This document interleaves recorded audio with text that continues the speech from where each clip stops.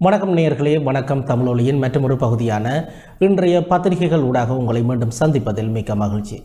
இன்று எட்டாம் திகதி நவம்பர் மாதம் இரண்டாயிரத்தி இருபத்தோராம் ஆண்டு திங்கட்கிழமை புதிதொரு நாள் பிறந்திருக்கின்றது. இந்த நாள் உங்கள் அனைவருக்கும் மகிழ்ச்சிகரமான நாளாக அமைய அனைவருக்கும் பொதுவான இறைவனை பிரார்த்தித்துக் கொள்கின்றேன்.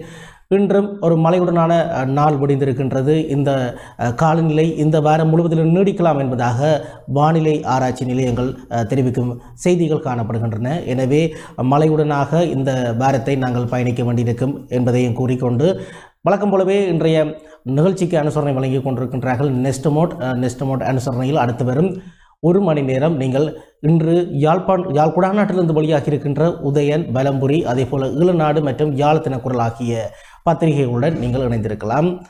யார் சிறந்த மனிதன் என்கின்ற ஒரு கேள்வி இருக்கின்றது. யார் சிறந்த மனிதன் எனும் போது எல்லோரிடமும் கற்றுக்கொள்பவனே சிறந்த மனிதன் என்பதாக அதற்கான பதில் அமைந்திருக்கின்றது. எனவே இந்த சிந்தனையையும் இன்று தருகின்றார்கள் நேஷ்டமோட் எனவே தொடர்ந்து நாங்கள் இன்று வெளிவந்திருக்கும் யாழ்ப்பாண பத்திரிகைகள் முதலில் ஈரநாடு பத்திரிகையினுடைய எமது தலைப்பு செய்தியை பார்வையிடலாம். அந்த வகையில் அதிகரிக்கின்றது தொற்று பயணத்தடை விதிக்கும் நிலைமை மீளவும் எழலாம். சுகாதார பணிப்பாளர் எச்சரிக்கை என்பதாக காணப்படுகின்றது. அந்த செய்தி அது ஈழநாடு பத்திரிகையினுடைய பிரதான செய்தி. அதே போல் அடுத்த தொடர்ந்து இன்றைய உதயம் பத்திரிகை எடுத்துக்கொள்வோமாக இருந்தால் கைமீறுகின்றது தோற்று நிலைமை மீளவும் வரலாம் கட்டுப்பாடுகள் என்பதாக காணப்படுகின்றது இன்றைய உதயன் பத்திரிகையுடைய பிரதான செய்தி. அதே போல் அஹ், வலம்புரி பத்திரிகை எடுத்துக்கொள்வோமாக இருந்தால் கொரோனா தொற்றாளர்கள் அதிகரிப்பு மீண்டும் பயண தடை அமுல்படுத்த நேரிடலாம். சுகாதார பணிப்பாளர் அசேல குணவர்த்தன தெரிவித்திருக்கின்றார் என்பதாக அந்த செய்தியில் காணப்படுகின்றது. அது வலம்புரி பத்திரிகையுடைய பிரதான செய்தி. அதேபோல சீரற்ற காலநிலை தீவிரம் மீட்பு குழுக்க தயார் இன்றும் நாளையும் கடும் மழை பெய்யலாம் என எச்சரிக்கை என்பதாக காணப்படுகின்றது. இன்றைய யாழ் தினக்குரல் பத்திரிகையுடைய பிரதான செய்தி. அந்த வகையில் இன்று யாழ் குடானிலிருந்து வெளிவந்திருக்கும் அனைத்து பத்திரிகைகளிலும் பிரதானமாக இந்த பயணத்தடை அதே போல மீண்டும் அதிகரிக்கின்றது கொரோனா என்பதான செய்திகள் வெளிவந்திருக்கின்றது. அது மட்டுமில்லாமல் காலநிலை தொடர்பிலான எச்சரிக்கையும் இன்று அனைத்து பத்திரிகைகளிலும் வெளிவந்திருக்கின்றது. எனவே இரண்டும் அவதானமாக இருக்க வேண்டியது. ஒன்று கொரோனா தொற்று அடுத்தது சீரற்ற காலநிலை.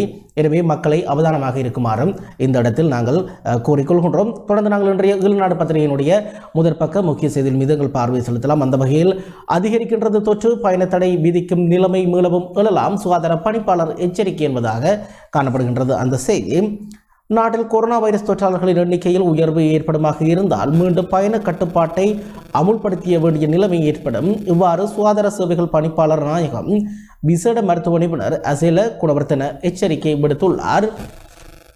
இது தொடர்பில் ஊடகங்களிடம் நேற்று அவர் மேலும் கூறுகையில் இலங்கையில் கொரோனா வைரஸ் தொற்றாளர்களின் எண்ணிக்கை மீண்டும் அதிகரிக்கும் நிலைமை ஏற்பட்டுள்ளது. கடந்த சில வாரங்களாக நாளாந்தம் ஐநூறு தொடக்கம் அறுநூறு வரையான கொரோனா தொற்றாளர்களை அடையாளம் காணப்பட்டு வந்த நிலையில் கடந்த மூன்று நாட்களாக அந்த எண்ணிக்கை அறுநூறை கடந்துள்ளது. பயணக்கட்டுப்பாடு தளர்த்திய பின்னர் மக்கள் பொறுப்பேற்ற வகையில் நடந்து கொள்கின்றனர். இதனால் தொற்று நிலைமை மீண்டும் அதிகரிக்கும் நிலைமை உருவாகியுள்ளது என்பதாக அந்த செய்தியில் காணப்படுகின்றது. அது அதிகரி அதிகரிக்கின்றது தொற்று. பயணத்தடை விதிக்க நிலைமை மீளவும் எழலாம். சுகாதார பணிப்பாளர் எச்சரிக்கை என்பதாக அந்த செய்தி காணப்படுகின்றது. அதேபோல இன்றைய ஈழநாடு பத்திரிகையின் முதல் பக்கத்தில் காணப்படும் ஏனைய செய்திகளாக நான்காவது அலை நாட்டை தாக்கும் ராஜாங்க அமைச்சர் என்பதாக ஒரு செய்தி வெளிவந்திருக்கின்றது. நாட்டில் கொரோனா தொற்றாளர்களின் எண்ணிக்கையில் சிறிதளவு அதிகரிப்பு ஏற்பட்டுள்ள நிலையில் இந்த வருட இறுதிக்குள் இலங்கை நான்காவது கோவிட் நைன்டீன் அலையை எதிர்கொள்ளக்கூடும் என்று உற்பத்தி வளங்கள் மற்றும் மருந்து பொருட்களை ஒழுங்குபடுத்தும் ராஜாங்க அமைச்சர் சன்ன ஜேசுமன தெரிவித்துள்ளார். நான்காவது அலையை எதிர்கொள்ள உயர் உலகம் தயாராகி வருகின்றது. உரிய முன்னெச்சரிக்கை நடவடிக்கைகளை எடுக்காதபடின் நான்காவது அலையிலிருந்து இலங்கை தப்பிக்க முடியாது. அனுராதபுரம் மாவட்டத்தில் ஏற்கனவே தொற்றாளர்களின் எண்ணிக்கை அதிகரித்துள்ளது. நாட்டை கொரோனா தொற்று தாக்காதது போன்று பொதுமக்கள் நடந்து கொள்கின்றனர். டிசம்பரில் நான்காவது தொற்றுக்கு உலகம் தயாராகின்றது. இலங்கையும் பாதிக்கப்படாது என்பதற்கு எந்த உத்தரவாதமும் இல்லை. எனவே பொதுமக்கள் முகக்கவசம் அணிவதுடன் சுகாதார விதிகளையும் பின்பற்ற வேண்டும் என்பதாக அந்த செய்தியில் காணப்படுகின்றது. அது நான்காவது அலை நாட்டை தாக்கும் ராஜாங்க அமைச்சர் என்பதாக காணப்படுகின்றது. ராஜாங்க அமைச்சர் சன்ன ஜெயசுமன இந்த விடயங்களை தெரிவித்திருக்கின்றார். அதேபோல மேலும் பதினைந்து பேர் மரணம் என்பதாகவும் ஒரு செய்தி வெளிவந்திருக்கின்றது. நாட்டில் கோவிட் தொற்றுக்கு உள்ளாகி மேலும் பதினைந்து பேர் உயிரிழந்துள்ளனர். இவர்கள் நேற்று முன்தினம் உயிரிழந்தனர் என சுகாதார சேவைகள் பணிப்பாளர் நாயகம் நேற்று வெளியிட்ட அறிக்கையில் குறிப்பிடப்பட்டுள்ளது. இவர்களில் முப்பது தொடக்கம் ஐம்பத்தொன்பது வயதுக்கு இடைப்பட்ட மூன்று பேரும் அறுபது வயதுக்கு மேற்பட்ட பன்னிரண்டு பேரும் அடங்குவர் என அரசாங்க தகவல் திணைக்களம் வெளியிட்டுள்ள அறிக்கையில் குறிப்பிடப்பட்டுள்ளது. முப்பது தொடக்கம் ஐம்பத்தொன்பது வயதுக்கு இடைப்பட்டவர்களுள் இதற்கமைய நாட்டில் இதுவரை கோவிட் தொற்றுக்குள்ளாகி உயிரிழந்தவர்களின் எண்ணிக்கை பதிமூவாயிரத்து எண்ணூற்று நாற்பத்தொன்றாக அதிகரித்துள்ளது என்பதாக அந்த செய்தியில் காணப்படுகின்றது. அது மேலும் பதினைந்து பேர் மரணம் என்பதாக காணப்படுகின்றது. அதேபோல மற்றொரு செய்தியாக அறுநூற்றி இருபத்தாறு தொற்றாளர்கள் நேற்று அடையாளம் காணப்பட்டனர் என்பதாகவும் ஒரு செய்தி வெளிவந்திருக்கின்றது. இன்றைய ஈழநாடு பத்திரிகையில் நாட்டில் மேலும் அறுநூற்றி இருபத்தாறு பேர் கொரோனா வைரஸ் தொற்றுடன் நேற்று அடையாளம் காணப்பட்டுள்ளனர் என்று சுகாதார அமைச்சின் தொற்று நோயியல் பிரிவு தெரிவித்துள்ளது. இதனையடுத்து நாட்டில் இதுவரை அடையாளம் காணப்பட்ட கொரோனா தொற்றாளர் கொரோனா தொற்றாளர்களின் மொத்த எண்ணிக்கை ஐந்து லட்சத்து நாற்பத்தைந்தாயிரத்து இருநூற்று ஐம்பத்தாறாக அதிகரித்துள்ளது. இதேவேளை கொரோனா தொற்றிலிருந்து மேலும் இருநூற்றி எழுபத்தொரு இருநூற்றி எழுபத்தொரு பேர் நேற்று குணமடைந்துள்ளனர். இதற்கமைய நாட்டில் இதுவரை கொரோனா தொற்றிலிருந்து குணமடைந்தவர்களின் மொத்த எண்ணிக்கை ஐந்து லட்சத்து பதினைந்தாயிரத்து நூற்று எண்பத்து மூன்றாக உயர்வடைந்துள்ளது என்பதாக அந்த செய்தியில் காணப்படுகின்றது. அது அறுநூற்றி இருபத்தாறு தொற்றாளர்கள் நேற்று அடையாளம் என்பதாக காணப்படுகின்றது. நேற்றைய நாளை பொறுத்தவரையில் கொரோனா தொற்றாளர்கள் அறுநூற்றி இருபத்தாறு அதே போல மரணங்கள் பதினைந்தாக பதிவாகியுள்ளதாக அந்த செய்தியில் காணப்படுகின்றது. அதே போல வடக்கை நோக்கி நகரும் காற்றழுத்த தாளமுக்கம் மீன்பிடித்தலை தவிர்க்குமாறு அறிவிப்பு என்பதாகவும் ஒரு செய்தி வெளிவந்திருக்கின்றது.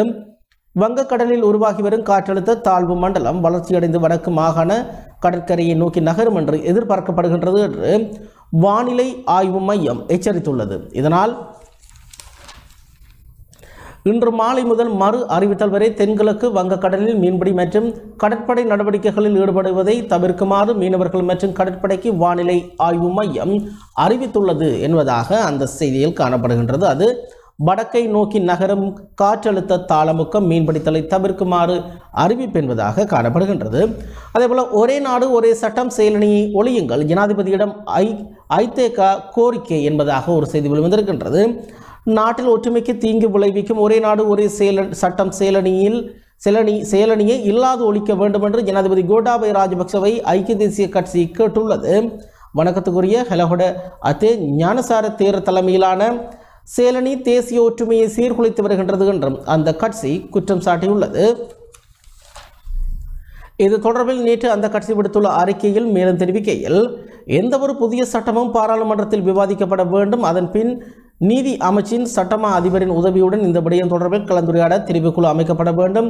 சேலனி ஒன்றை அமைத்து அமைச்சரவையில் விவாதிக்காமல் நீதி அமைச்சர் சட்டமா அதிபர் அதிகார வரம்பில் இருந்து நடவடிக்கை வேடிக்கைக்குரியது. அத்துடன் ஜனாதிபதியின் செயல் அரசமைப்புக்கு முரணானது. எனவே நாட்டின் ஒற்றுமைக்கு பாதகமான ஒரே ஒரு ஒரே நாடு ஒரே சட்டம் என்ற ஜனாதிபதி செயலணியை உடனடியாக இல்லாதொழிக்க வேண்டும் என்று ஜனாதிபதி கோட்டாபய ராஜபக்சவை கோருகின்றோம் என்பதாக ஐக்கிய தேசிய கட்சி ஜனாதிபதியிடம் கோரிக்கை விடுத்திருப்பதாக காணப்படுகின்றது. ஒரே நாடு ஒரே சட்டம் தொடர்பிலான செயலணியை ஒழிக்குமாறு. அதேபோல மற்றொரு செய்தி காணப்படுகின்றது. சிவயோகன் காலமானார் என்பதாக புகைப்படத்துடன் காண காணப்படுகின்றது. வடக்கு மாகாண சபையின் முன்னாள் உறுப்பினரும் எந்திரியுமான வேலுப்பிள்ளை சிவயோகன் நேற்று காலமானார். கரவட்டி துண்ணாலை மத்திய சேர்ந்த வேலுப்பிள்ளை சிவயோகன் வடமாகாண சபையின் முன்னாள் உறுப்பினரும் தமிழரசு கட்சியின் உடுப்புட்டி கிளையின் செயலாளருமாவர் இவரின் இறுதிக்கிரியைகள் இன்றைய தினம் கோவிட் கடவையில் உள்ள அவரது இல்லத்தில் இடம்பெற உள்ளன என்பதாக காணப்படுகின்றது. அந்த செய்தி அது சிவயோகன் காலமானார். முன்னாள் வடமாகாண சபையின் உறுப்பினர் என்பதாக காணப்படுகின்றது. அதேபோல் அத்தியாவசிய பொருட்களுக்கான தட்டுப்பாடு தொடர்ந்தும் நீடிக்கும் இறக்குமதியாளர் சங்கம் அறிவிப்பு என்பதாக காணப்படுகின்றது. ஒரு செய்தி இறக்குமதி செய்யப்பட்டுள்ள அத்தியாவசிய பொருட்களை துறைமுகத்தில் இருந்து விடுவிப்பதற்கு அரசாங்கம் உரிய நடவடிக்கைகளை துரிதகரமாக முன்னெடுக்காவிட்டால் சந்தையில் அத்தியாவசிய பொருட்கள் பெற்றுக்கொள்வதில் தற்போது காணப்படும் தட்டுப்பாடு தொடர்ந்தும் நீடிக்கும் என்று அத்தியாவசிய பொருட்கள் மற்றும் திரவ இறக்குமதியாளர்கள் சங்கத்தின் ஊடக பேச்சாளர் நிகால் செனவரத்ன தெரிவித்துள்ளார். அவர் மேலும் குறிப்பிடுகையில் துறைமுகத்தில் தேங்கியுள்ள அத்தியாவசிய பொருட்களை விடுவிப்பதில் பெரும் சிக்கல் நிலைமை காணப்படுகின்றது. டாலர் பிரச்சினை காரணமாக கடந்த ஆறு மாத காலமாக அத்தியாவசிய பொருட்கள் மற்றும் திரவ இறக்குமதியாளர்கள் பெரும் நெருக்கடிகளை எதிர்கொண்டுள்ளனர். சீனிக்கான தட்டுப்பாடு ஏற்பட்ட போதும் அரசாங்கம் கொள்கலன்களை விடுவிப்பதற்கு ஒத்துழைப்பு வழங்கியது. பெருமளவிலான அத்தியாவசிய பொருட்கள் தற்போது இறக்குமதி செய்யப்பட்டுள்ளன. இருப்பினும் அவற்றை துறைமுகத்தில் இருந்து விடுவிக்க முடியாத நிலை தற்போது ஏற்பட்டுள்ளது. அந்த பொருட்களை விடுவிப்பது குறித்து அரசாங்கம் விரைவான தீர்மானத்தை முன்னெடுக்க வேண்டும். இல்லாவிடின் தற்போது சந்தையில் அத்தியாவசிய பொருட்களை பெற்றுக்கொள்வதில் காணப்படும் நெருக்கடி மேலும் தீவிரமடையும். சமையல் எரிவாயு சீனி அரிசி பருப்பு உள்ளிட்ட பல அத்தியாவசிய பொருட்கள் இறக்குமதி செய்யப்பட்டுள்ளன.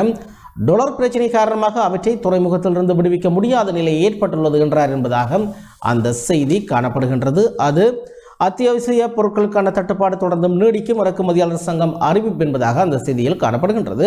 அதேபோல இன்று முதல் டிசம்பர் பத்து வரை விசேட பாராளுமன்ற அமர்வுகள் என்பதாகவும் ஒரு செய்தி வெளிவந்திருக்கின்றது. விசேட பாராளுமன்ற அமர்வுகள் இன்று திங்கட்கிழமை தொடக்கம் டிசம்பர் மாதம் பத்தாம் தேதி வரை ஞாயிறு மற்றும் அரச விடுமுறை தினங்களை தவிர ஏனைய அனைத்து நாட்களிலும் பாராளுமன்றம் கூடும் என்று அறிவிக்கப்பட்டுள்ளது. எதிர்வரும் பன்னிரெண்டாம் தேதி நிதியமைச்சர் பெசல் ராஜபக்ச இரண்டாயிரத்தி இருபத்தி ரெண்டாம் ஆண்டுக்கான வரவு செலவு திட்டத்தை முன்வைப்பார். மேலும் இரண்டாயிரத்தி இருபத்தி ரெண்டாம் ஆண்டுக்கான வரவு செலவு திட்ட விவாதத்தை செவிப்புலனற்ற நபர்களுக்காக சைகை மொழியிலும் வழங்குவதற்கு பாராளுமன்ற அலுவல்கள் பற்றிய குழு கூட்டத்தில் அனுமதி வழங்கப்பட்டுள்ளது. இது குறித்து சபாநாயகரின் ஆலோசனைக்கமைய பாராளுமன்ற அலுவல்கள் பற்றிய குழு இவ்விடயத்தை கவனத்தில் எடுத்துக் கொண்டுள்ளதுடன் இதற்கமைய வரவு செலவு திட்ட விவாதம் நடைபெறும். காலை பகுதியில் நேரடி தொலைக்காட்சி ஒளிபரப்புக்கு சமாந்தரமாக சைகை மொழிக்கு தனியானது ஒரு கட்டடம் ஒன்றை வழங்குவதற்கும் அனுமதி வழங்கப்பட்டுள்ளது என்பதாக அந்த செய்தியில் காணப்படுகின்றது. அந்த செய்தியானது இன்று முதல் டிசம்பர் பத்து வரை விசேட பாராளுமன்ற அமர்வுகள் என்பதாக காணப்படுகின்றது. இவை இன்றைய ஈழநாடு பத்திரிகையினுடைய முதல் பக்கத்தில் காணப்படுகின்ற முக்கியமான செய்திகளாக இருக்கின்றது. இன்றைய ஈழநாடு பத்திரிகையில் மற்றொரு செய்தியாக வரவு செலவு திட்டத்தில் நிவாரணம் கிடைக்காது. ராஜாங்க அமைச்சர் தியாசிரி என்பதாக ஒரு செய்தி வெளிவந்திருக்கின்றது. இரண்டாயிரத்தி இருபத்தி ரெண்டாம் ஆண்டுக்கான வரவு செலவு திட்டத்தில் பெரிய எதிர்பார்ப்புகள் என்று இல்லை என்று தெரிவித்துள்ள ராஜாங்க அமைச்சர் தயாசிரி ஜெயசேகர நாட்டின் பொருளாதாரத்தை கட்டியெழுப்ப முடியும் என்று முடியும் என எதிர்பார்க்கின்றார் என்றும் கூறினார் என்பதாக காணப்படுகின்றது. ஸ்ரீலங்கா சுதந்திர கட்சியின் குருநாகல் தொகுதி கூட்டத்தில் கலந்து கொண்டு உரையாற்றும் போதே இவ்வாறு அவர் தெரிவித்துள்ளார். இந்த வரவு செலவு திட்டத்தில் பெரும் நிவாரணத்தை எதிர்பார்க்க முடியாது என்றார். வரவு செலவு திட்டத்தின் ஊடாக நிவாரணம் வழங்கப்படும் என்பது ஏமாற்று நடவடிக்கையாகும். அதனூடாக எந்த ஒரு நிவாரணத்தையும் எதிர்பார்க்க முடியாது. வரவு செலவு திட்டம் என்பது நத்தார் தினத்தன்று வரும் நத்தார் தாத்தா வழங்கும் பரிசு மாதிரியானது என மக்கள் நினைத்து கொண்டிருக்கின்றனர். அது முற்றிலும் தவறானதாகும். மக்களின் அவ்வாறான தவறான சிந்தனைகளால் தான் நாடு இவ்வ இவ்வளவு மோசமான நிலைமையை எதிர்நோக்கியுள்ளது என்பதாக அவர் கா குறிப்பிட்டிருக்கின்றார். அது ராஜாங்க அமைச்சர் தியாசிரி ஜெயசகர தெரிவித்திருக்கின்றார். வரவு செலவு திட்டத்தில் நிவாரணம் கிடைக்காது என்பதாக குறிப்பிடப்பட்டிருக்கின்றது. அதேபோல பெரும் முதலீடுகளை இலங்கையில் செய்வதற்கு இங்கிலாந்து தயார் அமைச்சர் ஜி எல் பீரிஸ் என்பதாகவும் ஒரு செய்தி வெளிவந்திருக்கின்றது. ஆளும் தரப்பில் உள்ள கட்சிகளுக்கு இடையில் சில கருத்து முரண்பாடுகள் ஏற்படக்கூடும். எனினும் அரசாங்கம் என்ற ரீதியில் அனைவரும் ஒன்றிணைந்தெடுக்கும் தீர்மானங்களுக்கு அனைவரும் ஒத்துழைப்பு வழங்க வேண்டும். கடந்த வாரம் முன்னெடுத்த விஜயத்தின் பலனாக இங்கிலாந்திலிருந்து இலங்கைக்கு பெரும் முதலீடுகள் கிடைக்கப்பெற உள்ளன என்ற வெளிநாட்டலுவலக அமைச்சர் பேராசிரியர் ஜி எல் பீரிஸ் தெரிவித்துள்ளார். அமைச்சர் ஜிஎல் பீரிஸ் அஸ்கிரிய மற்றும் மெல்பத்து பீட மகாநாயக்க தேர்தல்களை சந்தித்த பின் ஊடகங்களுக்கு கருத்து வெளியிடும் போதே இவ்வாறு தெரிவித்திருக்கின்றார் என்பதாக அந்த செய்தியானது தொடர்ந்து செல்கின்றது. அதேபோல தவறுகளை உடன் திருத்துங்கள் இல்லையேல் ஆட்சிதான் கவலும் அரசுக்கு சிரேஷ்ட உறுப்பினர்கள் எச்சரிக்கை என்பதாகவும் ஒரு செய்தி வெளிவந்திருக்கின்றது.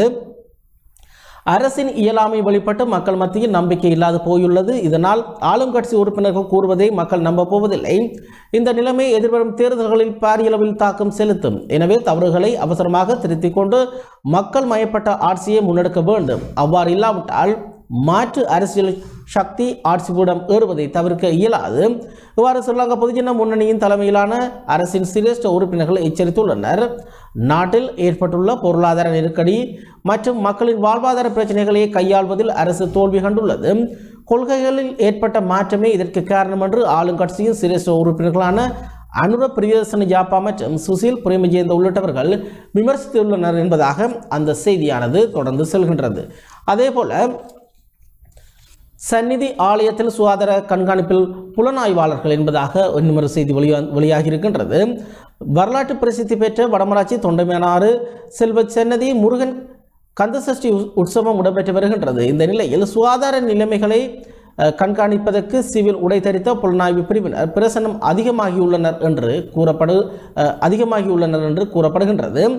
மேலும் பக்தர்கள் அதிகா அதிகாலை முதல் ஆலய தரிசனத்தில் ஈடுபடுகின்றனர். இதனால் கூட்ட நெரிசல் தவிர்க்கப்படுகின்றது. எனினும் மாலை வேளைகளில் அதிகளவான பக்தர்கள் கூடுகின்றனர். கொரோனா தொற்று காரணமாக இந்த காலத்தில் ஆலயத்துக்கு வருகை தரும் பக்தர்கள் சுகாதார நெருக்கடிகளை ஒழுங்குமுறையாக பின்பற்றும் பட்சத்தில் கண் கந்தசஷ்டி அஹ், விரத காலம் முழுவதும் தடையின்றி பூசைகளை நடத்த முடியும் என்பதாகவும் குறிப்பிடப்படுகின்றது.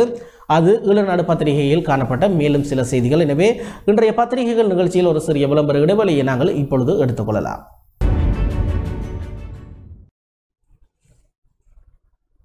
இன்றைய பத்திரிகைகள் நிகழ்ச்சியூடாக இணைந்திருக்கின்றோம். இன்றைய பத்திரிகைகள் நிகழ்ச்சியில் அடுத்ததாக நாங்கள் இன்று வெளிவந்திருக்கின்ற உதயன் பத்திரிகையினுடைய முதல் பக்கத்தில் காணப்படும் முக்கிய செய்திகளை பார்க்க போகின்றோம். அதில் முதலாவதாக இன்றைய பிரதான செய்தி கைமறுகின்றது தொற்று நிலைமை மீளவும் வரலாம். கட்- கட்டுப்பாடுகள் என்பதாக காணப்படுகின்றது. அந்த பிரதான செய்தி தொற்றாளர்களின் எண்ணிக்கை நாளுக்கு நாள் உயர்ந்து வரும் நிலையில் தளர்த்தப்பட்ட கட்டுப்பாடுகளை மீண்டும் நடைமுறைப்படுத்துவது தொடர்பில் சுகாதாரத்துறையினர் ஆலோசனைகளை ஆரம்பித்துள்ளனர். நாளாந்தம் இலங்கையில் காணப்படும் தொற்றாளர்களின் எண்ணிக்கை கடந்த சில நாட்களாக ஏறுமுகத்தில் உள்ள நிலையில் இது ஆபத்தானது என்று சுகாதாரத்துறையினர் எச்சரித்துள்ளனர். நாட்டில் கொரோனா தொற்றாளர்களின் எண்ணிக்கையில் உயர்வு ஏற்படுமாக இருந்தால் மீண்டும் பயண கட்டுப்பாடுகள் நடைமுறைப்படுத்துவதை தவிர்க்க முடி இயலாது என்று சுகாதார சேவைகள் பணிப்பாளர் நாயகம் விசட மருத்துவ நிபுணர் அசில குணவர்த்தன எச்சரிக்கை விடுத்துள்ளார் என்பதாக காணப்படுகின்றது. நேற்று ஊடகங்களுக்கு கருத்து வெளியிடும் போதே அவர் இவ்வாறு தெரிவித்திருக்கின்றார். அது தொடர்பான செய்தியை நாங்கள் ஏற்கனவே இன்றைய ஈழநாடு பத்திரிகையிலும் பார்த்திருக்கின்றோம். அது உதயன் பத்திரிகையினுடைய பிரதான செய்தி காணப்படுகின்றது. மீள மீளவும் வரலாம் கட்டுப்பாடுகள் என்பதாக நாங்கள் தொடர்ந்தும் உதயம் பத்திரிகையினுடைய ஏனைய செய்திகள் மீது எங்கள் பார்வை செலுத்தலாம். அந்த வகையில் கொரோனா சாவு பதினைந்து தொற்று அறுநூற்றி இருபத்தாறு என்பதாக காணப்படுகின்றது. கொரோனா தொற்றால் நேற்று முன்தினம் பதினைந்து பேர் உயிரிழந்தனர் என்று அரசாங்க தகவல் திணைக்களம் அறிவித்துள்ளது. அதே போல நேற்று தொற்றாளர்கள் அறுநூற்றி இருபத்தாறாக காணப்படுகின்றார்கள் என்பதாகவும் குறிப்பிடப்படுகின்றது. அது தொடர்பிலான செய்தியையும் நாங்கள் ஏற்கனவே இன்றைய ஈழநாடு பத்திரிகையில் பார்த்திருக்கின்றோம். மற்றொரு செய்தியாக விபத்தில் சிக்கியவர் உயிரிழப்பு என்பதாக ஒரு செய்தி இன்றைய உதயன் பத்திரிகையில் வெளியாகி இருக்கின்றது விபத்தில் சிக்கி மருத்துவமனையில் சிகிச்சை பெற்று வந்தவர் சிகிச்சை பலனின்றி உயிரிழந்துள்ளார். இந்த விபத்து கடந்த வெள்ளிக்கிழமை காரைநகர் மானிப்பாய் வீதியில் சுழிபுரம் விக்டோரியா கல்லூரிக்கு முன்பாக இடம்பெற்றது. வீதியில் பயணித்துக் கொண்டிருந்த மோட்டார் சைக்கிள் ஒன்றை பின்புறமாக இன்னுமொரு மோட்டார் சைக்கிள் மோதி விபத்து ஏற்பட்டிருந்தது. இது மோட்டார் சைக்கிள்களில் பயணித்த இருவரும் காயங்களுக்கு உள்ளாகி யாழ்ப்பாணம் பொதுநா மருத்துவமனையில் சேர்க்கப்பட்டனர். அவர்களில் ஒருவர் சிகிச்சை பலனின்றி உயிரிழந்துள்ளார். வைரமுத்து கந்தசாமி என்பவரே நேற்று உயிரிழந்துள்ளார் என்று மருத்துவமனை தகவல்கள் தெரிவிக்கின்றன என்பதாக காணப்படுகின்றது. அந்த செய்தி அது விபத்தில் சிக்கியவர் உயிரிழப்பு என்பதாக சுழிபுரத்தில் இடம்பெற்ற செய்தி அந்த விபத்து சம்பவம் தொடர்பிலான செய்தியாக காணப்படுகின்றது. அதேபோல கட்டமிடப்பட்ட ஒரு செய்தி காணப்படுகின்றது. வடக்குக்கு சிவப்பு எச்சரிக்கை இன்று முதல் மழை கொட்டும் என்பதாக அந்த செய்தி காணப்படுகின்றது. வடக்கு மாகாணத்தில் இன்று பிற்பகலுக்கு பின்னர் பரவலாக கனமழைக்கு வாய்ப்புள்ளது என்று எதிர்ப்பு கூறப்பட்டுள்ளது. வங்காள விரிகுடா கடற்பகுதியின் தென்கிழக்கு பகுதியில் தோன்றியுள்ள தாளமுக்கம் காரணமாக இந்த நிலைமை எதிர்வரும் பதிமூன்றாம் தேதி சனிக்கிழமை வரை தொடரும் என்றும் எதிர்பார்க்கப்படுகின்றது. தாளமுக்கம் நாளை மேற்கு அல்லது வடமேற்கு திசை நோக்கி நகரலாம் என்று நம்பப்படுகின்றது. அதனால் வடக்கு மற்றும் கிழக்கு மாகாணங்களின் கடற்பகுதிகள் கொந்தளிப்பாக காணப்படலாம். மீனவர்கள் கடலுக்குள் செல்வதை தவிர்ப்பது சிறந்தது என்றும் தெரிவிக்கப்பட்டுள்ளது. வடக்கு மாகாணத்தின் பல பகுதிகளிலும் நெற்செய்கையில் ஈடுபட்டுள்ள விவசாயிகள் கலைநாசினி விசிறுதல் மற்றும் உரமிடுதல் செயற்பாடுகளை எதிர்வரும் சனிக்கிழமை வரை தவிர்ப்பது சிறந்தது என்று யாழ்ப்பாணம் பல்கலைக்கழக புவியத்துறை சிரேஷ்ட விரிவுரையாளர் பிரதிபராஜா தெரிவித்துள்ளார். அதேபோல வளிமண்டல மேலடுக்கு சுழற்சி மற்றும் காற்று ஒருங்கிணைவு காரணமாக இன்று அதிகாலை முதல் காலை வரை வடக்கு மாகாணத்தின் பல பகுதிகளில் இடியுடன் கூடிய கனமழை கிடைக்க வாய்ப்புள்ளது என்றும் எதிர்ப்பு கூறப்பட்டுள்ளது. இந்த நிலையில் வடக்கு மாகாணத்தின் ஐந்து மாவட்டங்கள் உள்ளிட்ட பதினெட்டு மாவட்டங்களுக்கு சிவப்பு எச்சரிக்கை விடுக்கப்பட்டுள்ளது. குறித்த மாவட்டங்களில் நூறு மில்லிமீட்டருக்கும் அதிகமான கனமழை பெய்யும் என்று வானிலை ஆய்வு மையம் எதிர்ப்பு கூறியுள்ளது. யாழ்ப்பாணம் கிளிநொச்சி முல்லைத்தீவு மன்னார் வவுனியா புத்தளம் குருநாகல் கம்பகா ஹேகாலை கண்டி கொழும்பு நுவர்லியா பதுளை களுத்துறை ரத்னபுரி மொனராகலை காலி மற்றும் மாத்தறை ஆகிய பதினெட்டு மாவட்டங்களுக்கு மாவட்டங்கள் சிவப்பு எச்சரிக்கைக்குள் உள்ளடக்கப்பட்டுள்ளன என்பதாக அந்த செய்தி காணப்படுகின்றது. இந்த காலநிலையுடன் தொடர்பட்ட செய்திகளை நாங்கள் ஏற்கனவே குறிப்பிட்டிருக்கின்றோம். எனவே தொடர்ந்து மக்கள் இது தொடர்பில் அவதானமாக இருக்குமாறு எச்சரிக்கப்படுகின்றது. எனவே அந்த செய்தி அவ்வாறு காணப்படுகின்றது. இன்று முதல் மழை கோட்டும். வடக்குக்கு எச்சரிக்கை. வடக்கு உட்பட வடக்கின் ஐந்து மாவட்டங்கள் உட்பட இலங்கையின் பதினெட்டு மாவட்டங்களுக்கு இந்த எச்சரிக்கை விடுக்கப்பட்டிருப்பதாக குறிப்பிடப்படுகின்றது. அதேபோல மற்றொரு செய்தியாக ஒட்டகப்புலத்தில் வெடிபொருட்கள் என்பதாக ஒரு செய்தி வெளிவந்திருக்கின்றது. புகைப்படத்தில் புகைப்படத்துடன். வலி வடக்கு ஒட்டகப்புலத்தில் உள்ள காணி ஒன்றில் இருந்து வெடிபொருட்கள் மீட்கப்பட்டுள்ளன. இராணுவத்தினரின் கட்டுப்பாட்டில் இருந்து விடுவிக்கப்பட்ட இந்த பகுதியில் காணி உரிமையாளர் காணியை துப்புரவு செய்த போதே வெடிபொருட்கள் தென்பட்டுள்ளன எரிகணை மற்றும் துப்பாக்கி ரவைகள் என்பன காணப்பட்ட நிலையில் அது தொடர்பில் காணி உரிமையாளர் போலீசாருக்கு தகவல் வழங்கியுள்ளார். விசாரணைகளை மேற்கொண்ட போலீசார் நீதிமன்ற அனுமதி பெற்று வெடிபொருட்களை அகற்றுவதற்கான நடவடிக்கைகளை முன்னெடுத்துள்ளனர் என்பதாக காணப்படுகின்றது. அந்த செய்தியில் அது ஒட்டகப்புலத்தில் வெடிபொருட்கள் என்பதாக காணப்படுகின்றது அந்த செய்தி. அதேபோல இழந்த கல்வியை பெற புதிய திட்டம் அறிமுகம் என்பதாகவும் ஒரு செய்தி வெளிவந்திருக்கின்றது. இன்றைய உதயன் பத்திரிகையில் கொரோனா தொற்று காரணமாக பாடசாலை மாணவர்கள் இழந்த கல்வியை மீள வழங்குவதற்காக புதிய வேலை திட்டம் ஒன்று முன்னெடுக்கப்பட உள்ளது என்று தேசிய கல்வி நிறுவனத்தின் பணிப்பாளர் நாயகம் சுனில் ஜெயந்த நவரத்ன தெரிவித்துள்ளார். கொரோனா தொற்று பரவல் காரணமாக மாணவர்கள் இழந்த கற்றல் நடவடிக்கைகள் தொடர்பில் தேசிய கல்வி நிறுவனத்தால் மதிப்பீடு ஒன்று தயாரிக்கப்பட்டுள்ளது. இரண்டாயிரத்தி இருபதாம் ஆண்டு கல்வி இழப்பானது மேல் மாகாணத்தில் ஐம்பத்தைந்து சதவீதமாகவும் ஏனைய மாகாணங்களில் நாற்பத்தைந்து சதவீதமாகவும் பதிவாகியுள்ளது. நடப்பாண்டில் தற்போது வரை மேல் மாகாணத்தில் தொண்ணூறு சதவீதமாகவும் ஏனைய மாகாணங்களில் எழுபது சதவீதமாகவும் காணப்படலாம் என்று எதிர்பார்க்கப்படுகின்றது. இரண்டாயிரத்தி இருபது மற்றும் இரண்டாயிரத்தி இருபத்தொராம் ஆண்டுகளில் மாணவர்கள் இழந்த கல்வியை வழங்குவதற்கு நவம்பர் மாதம் முதல் மார்ச் மாதம் வரை காலம் ஒதுக்கப்பட்டுள்ளது என்றும் அது எதிர்வரும் ஏப்ரல் மாதம் வரை நீடிக்கப்படலாம் என்றும் பணிப்பாளர் நாயகம் சுனில் ஜெயந்த நவரத்ன தெரிவித்துள்ளார். மூன்றாம் மற்றும் நான்காம் தர மாணவர்களுக்கு இரண்டாயிரத்தி இருபத்தி ரெண்டாம் ஆண்டு மே மாதம் முதல் டிசம்பர் மாதம் வரை இந்த கல்வி வழங்க முன்மொழியப்பட்டுள்ளது என்றும் அவர் தெரிவித்துள்ளார். இந்த திட்டத்தை நிர்வகிக்கும் முறை தொடர்பான சுதந்திரம் பாடசாலை அதிபர்கள் மற்றும் ஆசிரியர்களுக்கு வழங்கப்பட்டுள்ளது என்றும் இந்த திட்டத்துக்கு அமைய அத்தியாவசிய பகுதிகள் தொடர்பில் அதிக கவனம் செலுத்தப்பட்டுள்ளது என்றும் அவர் தெரிவித்தார் என்பதாக காணப்படுகின்றது. அந்த செய்தியில் அது இழந்த கல்வியை பெற புதிய திட்டம் அறிமுகம் என்பதாக காணப்படுகின்றது அந்த செய்தி. அதே போல பதினேழு வயது மாணவன் நெஞ்சரித்தி நெஞ்சறிந்தி சாவு என்பதாக ஒரு செய்தி வெளிவந்திருக்கின்றது இன்றைய உதயம் பத்திரிகையில். இரவு நித்திரைக்கு சென்ற பதினேழு வயது மாணவன் ஒருவர் மூச்சு திணறலுக்கு உள்ளாகி உயிரிழந்துள்ளார். இந்த சம்பவம் வட்டுக்கோட்டை போலீஸ் பிரிவுக்குட்பட்ட தொல்புறம் கிழக்கு சுழிபுரத்தில் நடந்துள்ளது. மாணவனின் உயிரிழப்புக்கு நஞ்சருந்தியமையே காரணம் என்பது உடற்கூட்டு பரிசோதனைகள் தெரிய வந்துள்ளது என்று வட்டுக்கோட்டை போலீசார் தெரிவித்துள்ளனர். வட்டுக்கோட்டை இந்து கல்லூரியின் இரண்டாயிரத்தி இருபத்தி மூன்றாம் ஆண்டு உயர்தர மாணவனான மஹிந்தன் வயது இருபத்தேழு என்பவரே என்பவரை உயிரிழந்துள்ளார். நேற்று முன்தினம் இரவு மாணவனும் வீட்டில் இருந்தவர்களும் நித்திரைக்கு சென்றுள்ளனர். நேற்று அதிகாலை மூன்று மணியளவில் நிலம் ஈரமாகியுள்ளதை உணர்ந்து சகோதரி எழுந்து பார்த்துள்ளார். மாணவன் சிறுநீர் கழித்த நிலையில் மூச்சு திணறிக் கொண்டிருப்பதை அவதானித்து ஏனையோருக்கு தெரியப்படுத்தியுள்ளார். உடனடியாக நோயாளர் காவு வண்டி மூலம் மாணவன் சங்கானை மருத்துவமனைக்கு கொண்டு செல்லப்பட்டார். அங்கிருந்து மேலே மேலதிக சிகிச்சைகளுக்காக யாழ்ப்பாணம் போதனா மருத்துவமனைக்கு அனுப்பப்பட்டு அதிதீவிர சிகிச்சை பிரிவில் சேர்க்கப்பட்டார். அவருக்கு சிகிச்சைகள் வழங்கப்பட்ட போதும் நேற்று அதிகாலை நான்கு மணியளவில் மாணவன் சிகிச்சை பலனின்றி உயிரிழந்துள்ளார். இந்த சம்பவம் தொடர்பான விசாரணைகளை வட்டுக்கோட்டை போலீசார் முன்னெடுத்துள்ளனர் என்பதாக காணப்படுகின்றது. அந்த செய்தி அது பதினேழு வயது மாணவன் நஞ்சரிந்தி சாவு என்பதாக காணப்படுகின்றது. அதேபோல வடக்கு மாகாண சபை முன்னாள் உறுப்பினர் சிவயோகன் காலமானார் என்பதாகவும் ஒரு செய்தி வந்திருக்கின்றது அந்த செய்தியை நாங்கள் ஏற்கனவே பார்த்திருக்கின்றோம். அதேபோல ஈய ஆலை சுவர் இடிந்து தொழிலாளி தொழிலாளி நசுங்கி சாவு வவுனியாவில் சம்பவம் என்பதாகவும் ஒரு செய்தி வந்திருக்கின்றது ஈய முறுக்கும் ஆலையின் சுவர் திடீரென இடிந்து விழுந்ததில் தொழிலாளி ஒருவர் உயிரிழந்துள்ளார். இந்த சம்பவம் நேற்று பிற்பகல் ஓமந்தை ஈய தொழிற்சாலையில் நடந்துள்ளது. மாத்தளையை சேர்ந்த வேலு உதிராஜ் எனும் முப்பத்தெட்டு வயதானவரை உயிரிழந்துள்ளார். இவர் இரு பிள்ளைகளின் தந்தை என்று ஓமந்தை போலீசார் தெரிவித்துள்ளனர். ஓமந்தை அரச வீட்டு திட்டத்துக்கு அருகில் உள்ள இந்த தொழிற்சாலையில் தொழிலாளர்கள் வேலை செய்து கொண்டிருந்த போது சுவர் ஒன்று உடைந்து விழுந்துள்ளது. அதில் சிக்கிய குறித்த நபர் சம்பவ இடத்திலேயே உயிரிழந்துள்ளார். உயிரிழந்தவரின் உடல் வவுனியா பொது மருத்துவமனையில் சேர்க்கப்பட்டுள்ளது. இந்த சம்பவம் தொடர்பாக ஓமந்தை போலீசார் விசாரணைகளை ஆரம்பித்துள்ளனர் என்பதாக காணப்படுகின்றது. அந்த செய்தி அவை இன்றைய உதயம் பத்திரிகையின் முதல் பக்கத்தில் காணப்பட்டிருக்கும் சில முக்கியமான செய்திகளாக இருக்கின்றன. தொடர்ந்து நாங்கள் இன்று வெளிவந்திருக்கும் பலமுறை பத்திரிகை எடுத்துக்கொள்ளலாம் பலமுறை பத்திரிகையுடைய பிரதான செய்தி இவ்வாறு காணப்படுகின்றது. கொரோனா தொற்றாளர்கள் அதிகரிப்பு மீண்டும் பயணத்தடை அமுல்படுத்த நேரிடலாம் என்பதாக காணப்படுகின்றது. அந்த செய்தி சுகாதார பணிப்பாளர் அசேல குணவர்த்தன எச்சரிக்கை என்பதாக அந்த செய்தியில் குறிப்பிடப்பட்டுள்ளது. அந்த செய்தி தொடர்பில் நாங்கள் ஏற்கனவே இன்றைய ஈழநாடு மற்றும் உதயன் பத்திரிகையில் விரிவாக பார்த்திருந்தோம். எனவே இந்த கொரோனா தொற்றாளர்கள் தொற்று அதி அதிகரிப்பு அதனால் பயணத்தடை அமுல்படுத்தப்படும் என சுகாதார தரப்பினர் மீண்டும் மீண்டும் எச்சரிக்கைகளை விடுத்துக் கொண்டிருக்கின்றார்கள். அதேபோல மற்றொரு செய்தி காணப்படுகின்றது. அரசாங்கத்துக்கு எதிராக பொகவந்தலாய பொகவந்தலாவையில் பெரும் போராட்டம் என்பதாக புகைப்படத்துடன் அந்த செய்தி காணப்படுகின்றது. அரசாங்கத்தை வீட்டுக்கு அனுப்புவோம் மனோ எம்பி சூளுரை என்பதே அந்த போராட்டத்தில் போது அவர் தெரிவித்த கருத்தாக காணப்படுகின்றது. விவசாயத்துறை அமைச்சரின் கொடும்பாவியை மட்டுமல்ல ஒட்டுமொத்த இந்த அரசையும் கொளுத்தி வீட்டுக்கு விரட்டியடிக்க வேண்டும் என தமிழ் முற்போக்கு கூட்டணியின் தலைவரும் பாராளுமன்ற உறுப்பினருமான மனோ கணேசன் தெரிவித்துள்ளார்.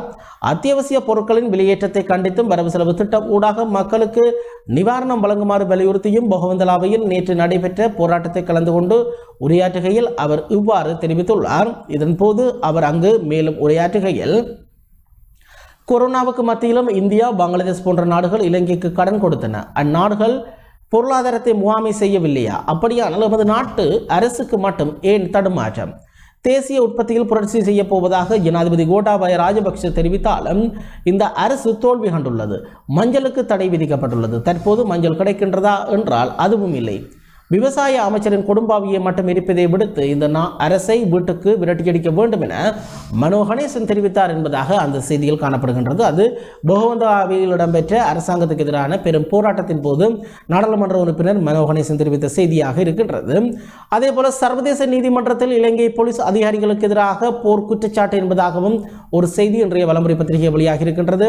இலங்கை போலீஸ் திணைக்களத்தின் வரலாற்றில் முதல் முறையாக போலீஸ் மா அதிபர்கள் உட்பட பதினைந்து போலீஸ் அதிகாரிகளுக்கு எதிராக நெதர்லாந்தின் ஹேக்கில் உள்ள சர்வதேச நீதிமன்றத்தில் போர் குற்றச்சாட்டுகள் சுமத்தப்பட்டுள்ளதாக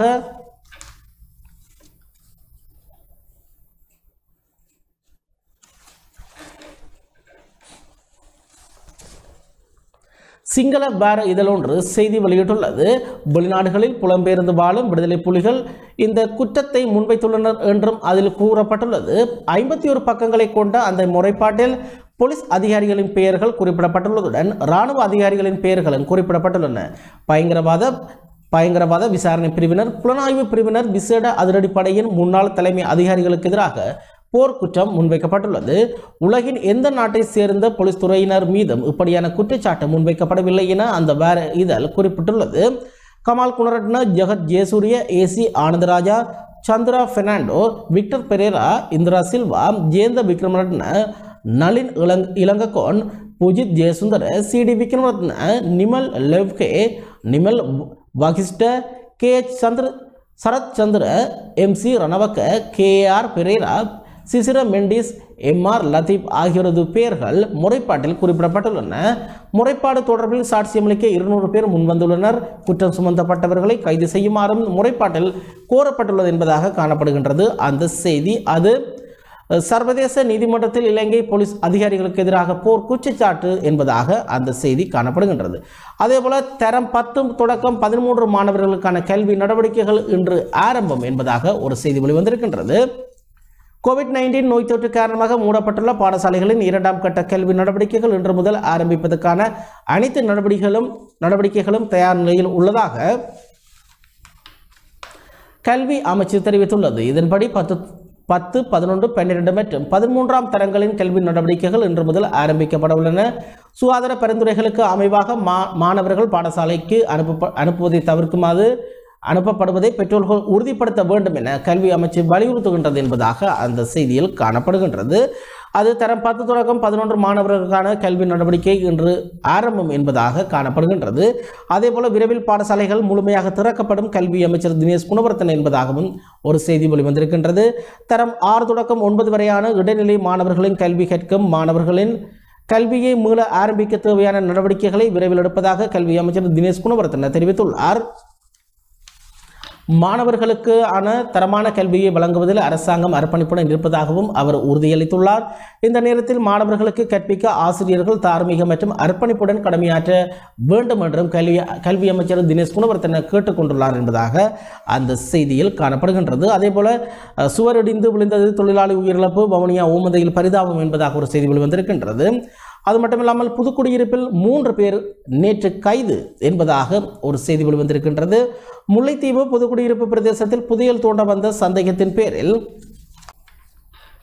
நேற்று முன்தினம் இரவு இரவு மூவரை புதுக்குடியிருப்பு போலீசார் கைது செய்துள்ளனர். இவர்கள் நீர்கொழும்பு அனுராதபுரம் புலனறுவை பகுதிகளை சேர்ந்தவர்கள் என்று விசாரணைகளில் தெரிய வந்துள்ளது என்பதாக அந்த செய்தியில் காணப்படுகின்றது. அது புடி புதுக்குடியிருப்பில் மூன்று பேர் கைது என்பதே அந்த செய்தி. அதேபோல ஆர்சி கவலக்கூடம் ஆளும் கட்சி உறுப்பினர்கள் அரசுக்கு எச்சரிக்கை என்பதாக ஒரு செய்தி வெளிவந்திருக்கின்றது நாட்டில் ஏற்பட்டுள்ள பொருளாதார நெருக்கடி மற்றும் மக்களின் வாழ்வாதார பிரச்சனைகளை கையாள்வதில் அரசு தோல்வி கண்டுள்ளது. கொள்கைகளில் ஏற்பட்ட மாற்றமே இதற்கு காரணம் என்றும் ஆளுங்கட்சியின் சிரேஷ்ட உறுப்பினர்களான அனுத பிரியசன யாப்பா மற்றும் சுசில் பிரேமஜெயந்த ஆகியோர் தெரிவித்துள்ளனர் என்பதாக அந்த செய்தியில் காணப்படுகின்றது. அதேபோல சதோசாவில் ஒரு கிலோ சீனி ரூபாய் நூற்றி இருபத்தைந்து என்பதாகவும் ஒரு செய்தி வெளிவந்திருக்கின்றது சதோசா ஊடாக ஒரு கிலோ ஒரு கிலோ சீனியின் நூற்றி இருபத்தைந்து ரூபாய்க்கு கொள்வனவு செய்ய முடியும் என ராஜாங்க அமைச்சர்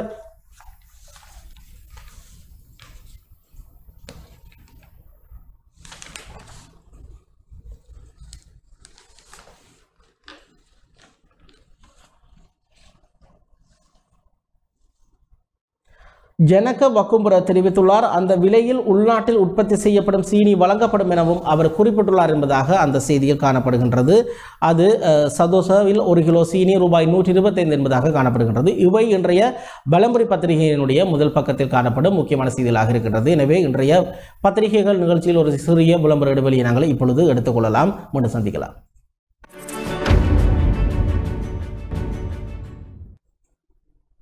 இன்றைய பத்திரிகைகள் நிகழ்ச்சியில் அடுத்ததாக நாங்கள் இன்று வெளிவந்திருக்கின்ற ஜாழ் தினக்குரல் பத்திரிகையினுடைய செய்திகள் மீது எங்கள் பார்வை செலுத்தலாம். அந்த வகையில் பிரதான செய்தி இவ்வாறு காணப்படுகின்றது. சீரற்ற காலநிலை தீவிரம் மீட்புக் குழுக்கள் தயார் இன்றும் நாளையும் கடும் மழை பெய்யலாம் என எச்சரிக்கை என்பதாக அந்த பிரதான செய்தி காணப்படுகின்றது. நாட்டில் தற்போது நிலவும் சீரற்ற காலநிலை மேலும் தீவிரமடைந்து அனர்த்த நிலைமைக்கு செல்லலாம் என்று எச்சரிக்கை விடுக்கப்பட்டுள்ளது. இதனால் மாவட்டங்கள் பலவற்றில் மீட்புக் குழுவினர் தயார் நிலையில் வைக்கப்பட்டுள்ளதாக அனர்த்த முகாமைத்துவ நிலையம் தெரிவித்துள்ளது. நாட்டில் நிலவும் மழையுடன் கூடிய காலநிலை மேலும் சில தினங்களுக்கு நீடிக்கும் என்பதுடன் இன்றும் நாளையும் இது மேலும் அதிகரிக்கும் நிலைமை காணப்படுவதாக வளிமண்டலவியல் திணைக்களம் தெரிவித்துள்ளது. குறிப்பாக மேல் சப்ரமுக மத்திய வடமேல் மற்றும் வடக்கு மாகாணங்களில் காலி மற்றும் மாத்தறை மாவட்டங்களிலும் நூறு மில்லிமீட்டருக்கும் அதிகமான பலத்த மழை வீழ்ச்சி பதிவாக கூடும் என்றும் அந்த திணைக்களம் அறிவித்துள்ளது. இதனால் மத்திய சப்ரமோ மேல் மற்றும் தென் மாகாணங்களில் எட்டு மாவட்டங்களுக்கு மண் சரிவு எச்சரிக்கையும் விடுக்கப்பட்டுள்ளது. இதேவேளை மாவட்ட மழையுடன் கூடிய காலநிலை நிலவும் மாவட்டங்களில் மக்களை எச்சரிக்கையாக இருக்குமாறு அனர்த்த முகாமைத்துவ நிலையம் அறிவித்துள்ளது. இதேவேளை அனர்த்த அபாயம் நிலைமைகள் நிலவும் பிரதேசங்களில் மீட்பு குழுக்கள் தயார் நிலையில் வைக்கப்பட்டுள்ளதாகவும் அந்த திணைக்களம் குறிப்பிட்டுள்ளதாக அந்த செய்தியில் காணப்படுகின்றது. அது சீரற்ற காலநிலையுடன் தொடர்பற்ற செய்தி. அதேபோல் இந்த சீரற்ற காலநிலையுடன் தொடர்பட்டதாக மற்றொரு செய்தியும் காணப்படுகின்றது. சீரற்ற காலநிலையால் நாட்டில் ஐவர் பலி என்பதாக அந்த செய்தி காணப்படுகின்றது. இலங்கையின் சில பகுதிகளில் கடந்த சில நாட்களாக நிலவும் சீரற்ற காலநிலை காரணமாக குறைந்தது ஐந்து பேர் உயிரிழந்துள்ளனர் இருவர் காயமடைந்துள்ளனர். ஒருவர் காணாமல் போயுள்ளதாக அனர்த்த முகாமைத்துவ நிலையம் தெரிவித்துள்ளது. துணுக்காய் எல்ல பசறை மற்றும் புத்தளம் ஆகிய பிரதேசங்களில் மரணங்கள் பதிவாகியுள்ளன. மின்னல் தாக்கத்தினால் இருவர் உயிரிழந்துள்ளனர். சீரற்ற காலநிலை காரணமாக ஆயிரத்து நான் நூற்று நாற்பத்தி மூன்று குடும்பங்களைச் சேர்ந்த நானூற்று நான்காயிரத்து முன்னூற்று தொண்ணூற்றொரு பேர் பாதிக்கப்பட்டுள்ளனர். அறுநூற்று முப்பத்தைந்து வீடுகள் பகுதியளவிலும் பன்னிரண்டு வீடுகள் முழுமையாகவும் சேதமடைந்துள்ளதாக அன்னத்த முகாமைத்துவ நிலையம் தெரிவித்துள்ளது. பாதிக்கப்பட்ட இருநூற்றி ஐம்பத்தி ஏழு பேர் ஒன்பது இடைத்தங்கள் முகாம்கள் ஒன்பது இடைத்தங்கள் முகாம்களில் தங்க வைக்கப்பட்டுள்ளனர். இதேவேளை ஏழு மாவட்டங்களில் பெய்து வரும் கடும் மழை காரணமாக அந்த பகுதிகளில் விடுவிக்கப்பட்ட விடுக்கப்பட்ட மண் சரிவு அபாய எச்சரிக்கை மேலும் நீடிக்கப்பட்டுள்ளது. இதேபோல தெதுரோயா ராஜங்கனை பெவ- பெஹரவ மக மகவிலட்சிய ஜோதவெவ நாளந்த மற்றும் தப்போவ ஆகிய நீர்த்தேக்கங்களின் வான் கதவுகள் மேலும் திறக்கப்பட்டுள்ளன. நீர்த்தேக்கங்களை சூழவுள்ள தாழ்நில பகுதிகளில் வசிக்கும் மக்கள் நீர்நிலைகள் தொடர்பில் அவதானமாக இருக்குமாறு நீர்ப்பாசன திணைக்களம் அறிவுறுத்தியுள்ளது என்பதாக அந்த செய்தியில் காணப்படுகின்றது. அது சீரற்ற காலநிலையால் நாட்டில் இதுவரை ஐவர் பலி என்பதாக காணப்படுகின்றது அந்த செய்தி. அதே போல லிட்ரோ எரிவாயு விலை அதிகரிக்காது டிசம்பருக்குள் விலை குறைப்பு நிறுவனம் தெரிவிப்பு என்பதாக காணப்படுகின்றது ஒரு செய்தி. லிட்ரோ எரிவாயு நிறுவனத்துடனான ஒப்பந்தத்தை மேலும் இரண்டு வருடங்களுக்கு நீடிக்கும் விநியோகத்தர்களின் கோரிக்கை நிராகரிக்கப்படாமையினாலேயே எரிவாயு விநியோகத்தில் தாமதம் ஏற்பட்டுள்ளதாகவும் எனினும் லிட்ரோ எரி சா- எரிவாயு சிலிண்டரின் விதைகள் விலைகள் அதிகரிக்கப்படாதெனவும் டிசம்பர் மாதத்துக்குள் விலைகள் குறைப்பதற்கு எதிர்பார்த்து எதிர்பார்த்துள்ளதாகவும் லிட்ரோ நிறுவன தலைவர் திசார ஜெயசிங்க தெரிவித்துள்ளார் எரிவாயு பற்றாக்குறையின் காரணமாகவே பொதுமக்களுக்கு அறிவிக்காமல் எரிவாயு ஆலையை நான்கு நாட்களுக்கு மூட வேண்டிய நிலைமை ஏற்பட்டது. இது அனைவருக்கும் பிரச்சனையை ஏற்படுத்தியுள்ளதுடன் எரிவாயு சிலிண்டர் தட்டுப்பாடு காரணமாக மக்கள் நீண்ட வரிசையில் காத்திருக்க வேண்டிய தேவை ஏற்பட்டது. இலங்கையில் நாளாந்தம் நாளாந்த எழு எழுபத்தைந்தாயிரம் எரிவாயு சிலிண்டர்கள் நுகர்வுக்கு தேவைப்படுகின்றன. தற்போது எண்பத்தைந்தாயிரம் எரிவாயு சிலிண்டர்கள் நாளாந்தம் சந்தைகளுக்கு விநியோகிக்கப்படுகின்றன. எனினும் நாங்கள் ஒரு பெரிய தொகையை விநியோகித்தாலும் எங்களிடம் இன்னும் பெரிய நிலுவை உள்ளது. இவ்வாற இறுதிக்குள் அதை அகற்ற எதிர்பார்த்துள்ளோம். சந்தையில் எரிவாயு தட்டுப்பாடு ஏற்படுவதற்கு முக்கிய காரணம் விநியோகத்தில் ஏற்பட்ட தாமதமாகும். துறைமுகத்தில் தரையிறக்கப்பட்ட எரிவாயு சிலிண்டர்களை விநியோகிப்பதில் எங்களுக்கு சிக்கல்கள் இருந்தன. எரிவாயு சிலிண்டர்களை கொண்ட கப்பல்கள் துறைமுகத்தில் நிறுத்தப்பட்டுள்ளன. எனினும் ஒப்பந்தத்தை மேலும் இரண்டு ஆண்டுகளுக்கு நீடிக்குமாறு விநியோகத்தர்கள் கோரியதை ஏற்க மறுத்தமையினால் எரிவாயு விநியோகிக்கப்படவில்லை. தற்போது ஜனாதிபதியின் தலையீட்டின் பின்னர் பிரச்சனைகள் தீர்க்கப்பட்டுள்ளதுடன் விரைவில் சந்தையில் நிலவும் தட்டுப்பாடு தீர்க்கப்படும் என்றும் அவர் தெரிவித்தார் என்பதாக அந்த செய்தியில் காணப்படுகின்றது. அது லிட்ரோ சமையல் எரிவாயு விலை அதிகரிக்காது. டிசம்பருக்குள் விலை குறைப்பு நிறுவனம் தெரிவிப்பு என்பதாக அந்த செய்தி காணப்படுகின்றது. அதே போல் நாட்டில் மீண்டும் பயணத்தடை விதிக்கப்படலாம். சுகாதார தரப்புகள் வலியுறுத்தல் என்பதான ஒரு செய்தியும் இன்றைய ஜாழ் குரலில் வெளியாக இருக்கின்றது அது தொடர்பில் நாங்கள் ஏற்கனவே பார்த்திருக்கின்றோம். அதே போல பட்ஜெட்டில் நிவாரணங்கள் வழங்கப்படும் என்பது போய் எதிர்பார்க்க வேண்டாம் என்கின்றார் ராஜாங்க அமைச்சர் தேசரி என்பதாகவும் ஒரு செய்தி வெளிவந்திருக்கின்றது. அந்த செய்தியை கூட நாங்கள் ஏற்கனவே பார்த்திருக்கின்றோம். அமைச்சர்கள் பீரிஸ் தினேஷ் பதவிகளில் தொடர்பார்களா? கேள்விக்குறியுடன் ஒரு செய்தி வெளிவந்திருக்கின்றது. செயலாளர்கள் விடயத்தில் அதிருப்தி என்பதாகவும் காணப்படுகின்றது. வெளிவிவகார அமைச்சர் பேராசிரியர் ஜி. எல். பீரிஸ் மற்றும் கல்வி அமைச்சர் தினேஷ் குணவர்த்தன ஆகியோர் தமது அமைச்சு பதவிகள் தொடர்பில் விரைவில் தீர்மானம் எடுக்க உள்ளதாக அரசாங்கத்தின் முக்கியஸ்தர்களுக்கு அறிவித்துள்ளதாக தகவல் வெளியாகியுள்ளது. தமது அமைச்சு செயலா- செயலாளர்களுடன் இணைந்து செயற்பட முடியாத நிலையிலேயே இவ்வாறு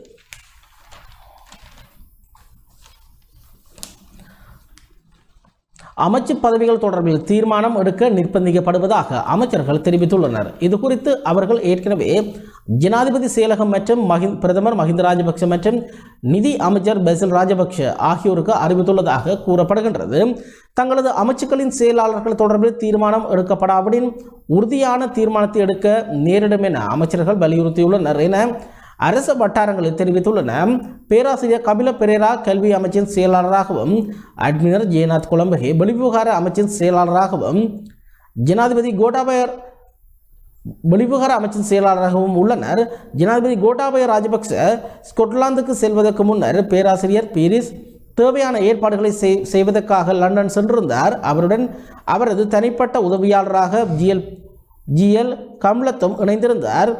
எனினும் அமைச்சருடன் அவரது தனிப்பட்ட ஊழியர்கள் செல்ல அனுமதிக்க முடியாது என்று அட்மிரல் ஜெயநாத் குழம்பகி உத்தரவு பிறப்பித்ததை அடுத்து லண்டனில் இருந்து ஸ்கொட்லாந்துக்கான பயணத்திலிருந்து கமலத்தின் பெயர் நீக்கப்பட்டது. எனினும் அதை பொருட்படுத்தாமல் கமலத்தை வெளிவிவகார அமைச்சர் ஸ்கொட்லாந்துக்கு அழைத்து சென்றிருந்தார். தனது வயதை கருத்தில் கொண்டு தனிப்பட்ட உதவியாளர் ஒருவர் தன்னுடன் பயணம் செய்ய அனுமதிக்க வேண்டும் என அமைச்சர் பீரிஸ் அழுத்தமாக வலியுறுத்தியிருந்ததாக கூறப்ப கூறப்படுகின்றது. இதேவேளை அமைச்சர் தனது தனிப்பட்ட ஊழியரை லண்டன் அழைத்து செல்ல முடியாது என தெரிவித்த வெளிவிவகார அமைச்சின் செயலாளர் அட்மிரல் ஏனத் குழம்பகே தான் அண்மையில் மொஸ்கோவுக்கு சென்றபோது தனிப்பட்ட உதவியாளர் ஒருவரை அழைத்து சென்றதாக தகவல் தகவலறிந்த வட்டாரங்கள் தெரிவித்துள்ளன. இதனிடையே அமைச்சின் செயலாளரின் செயற்பாடுகள் குறித்து ஆத்திரமடைந்த வெளிவிவகார அமைச்சர் இது குறித்து நிதியமைச்சர் பெசல் ராஜபக்சவை தொலைபேசியில் தொடர்பு கொண்டு அனைத்தையும் தெரிவித்துள்ளதாக தகவல்கள் தெரிவிக்கின்றன.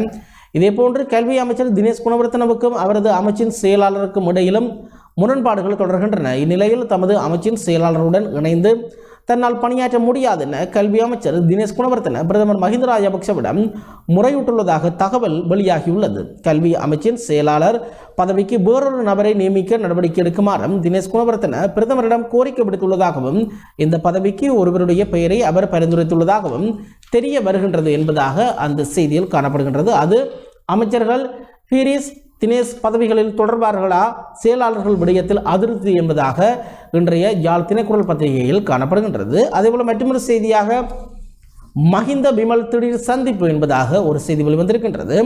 பிரதமர் மஹிந்த ராஜபக்சவுக்கும் தேசிய சுதந்திர முன்னணியின் தலைவர் அமைச்சர் பிமல் வீரவன்சவுக்கும் இடையில் சந்திப்பொன்று கடந்த புதன்கிழமை இரவு நடந்துள்ளதாக தகவல்கள் தெரிவிக்கின்றன. கொழும்பு ஏழு விஜயராம மாவட்டத்தில் உள்ள பிரதமரின் உத்தியோகபூர்வ இல்லத்தில் நடைபெற்ற இந்த சந்திப்பில் இவர்கள் இருவரை தவிர வேறு எவரும் கலந்து கொள்ளவில்லை என்று கூறப்படுகின்றது. பிரதமரின் அறிவிப்புக்கு அமைய அமைச்சர் பிமல் வீரவன்சே இந்த பேச்சுவார்த்தையில் கலந்து கொண்டுள்ளதுடன் அரசாங்கத்துக்கும் கூட்டணி கட்சிகளுக்கும் இடையில் ஏற்பட்டுள்ள நெருக்கடி சம்பந்தமாக இதன் போது பேசப்பட்டதாக தெரிய வருகின்றது.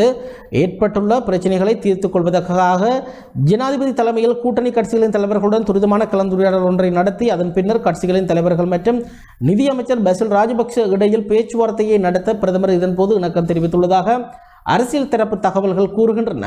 அண்மையில் நடைபெற்ற ஸ்ரீலங்கா பொதுஜன பெரமுனவின் ஐந்தாவது ஆண்டு நிறைவு விழாவில் அமைச்சர் பிமல் வீரவன்ச கலந்து கொள்ளவில்லை என்பதுடன் அவரது கட்சியின் பிரதிநிதிகள் மாத்திரமே அதில் கலந்து கொண்டனர் என்பதும் குறிப்பிடத்தக்கது என்பதாக அந்த செய்தியில் காணப்படுகின்றது.